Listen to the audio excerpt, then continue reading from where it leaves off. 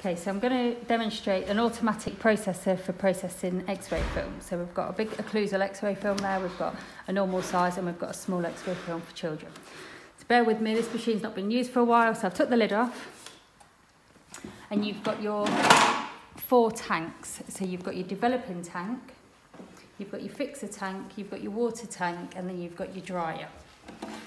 So what we'd normally do in the morning is fill the developer up to about here you put your tank inside slowly, wait for the bubbles to come out.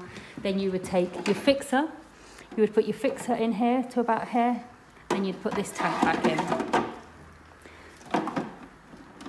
Then your water tank, again, you would fill water in the tank and then put the rollers back in, and then you've got your drying tank.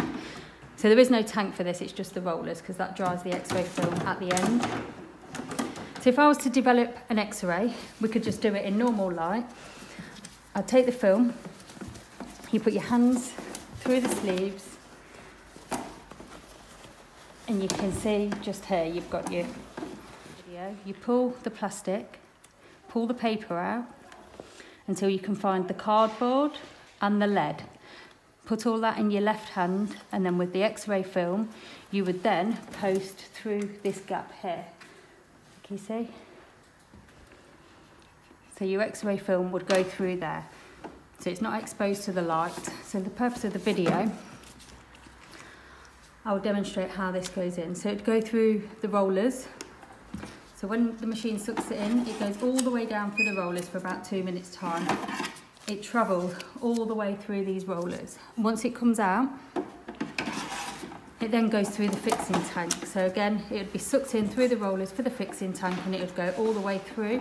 and it's finished in there, it would then go through the water, through the dryer. When the x-ray film is done, this whole process normally takes about seven minutes. The x-ray will just be there ready for collection. Just to note, in the morning, when the x-ray machine is switched on, you need to check the temperature of the solution, what's in here. You need to also make sure at the end of the day these solutions are special waste. So you'd put the developer and the fixer in the special waste pot. They should have no solutions overnight. This can affect the x-ray film from being developed. Again, if you was going to use one of these Velopex films, you've got your instructions on here as well. Everything at the end, as I said in my other video, goes into the clinical waste bin. Your lead has to go into the lead foil box, which is special waste and that will be collected.